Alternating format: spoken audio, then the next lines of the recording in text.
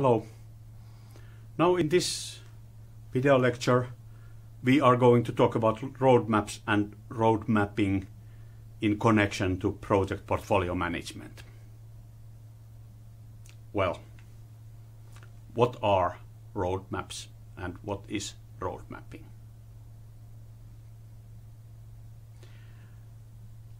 Roadmaps are really illustrations that are used in the road mapping process that uh, recognize the relevant parameters. It kind of connects the markets, products, technologies, and business.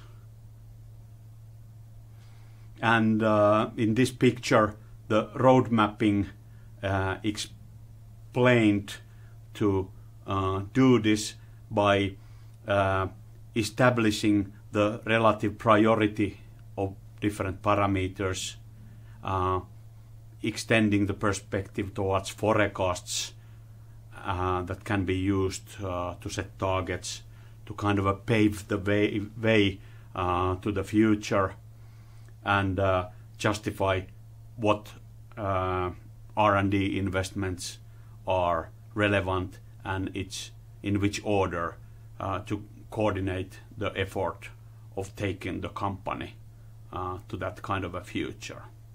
So combining markets, products, technologies, and uh, businesses, and uh, paving uh, the future for the company in that way.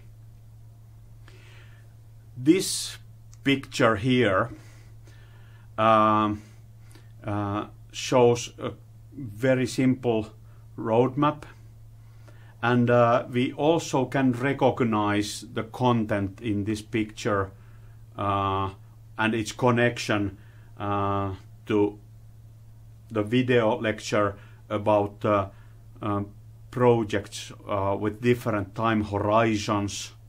And we also have uh, the video lecture connected to project portfolio management that includes the idea management approach and uh, managing ideas, I think that those are some in some way connected uh, to what uh, I explain here.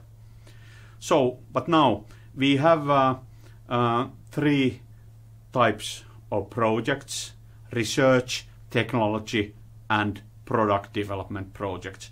And the technology maturity uh, is higher uh, in uh, product development projects, whereas in research projects um, we are still searching for uh, appropriate solutions.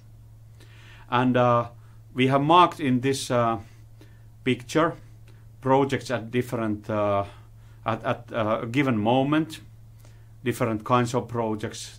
They, uh, there are research projects marked with R, then technology development projects marked with T, and then uh, product development projects marked with P.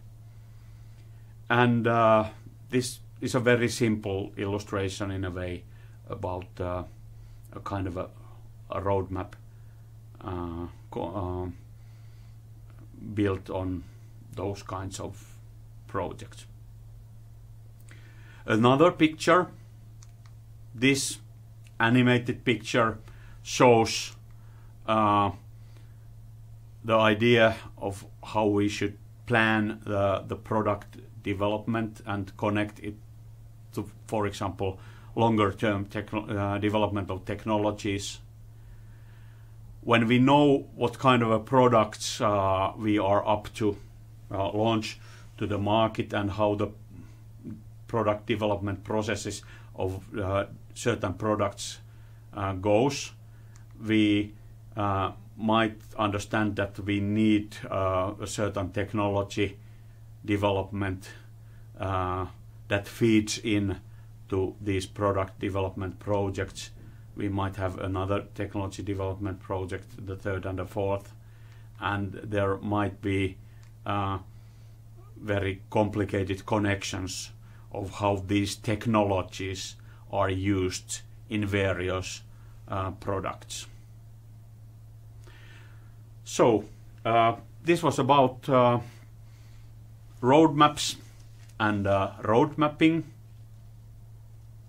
I tried to illustrate also visually what road uh, roadmaps might uh, be like. Um, thank you for uh, listening and thank you for being involved in this lecture. See you in the next video lecture. Bye.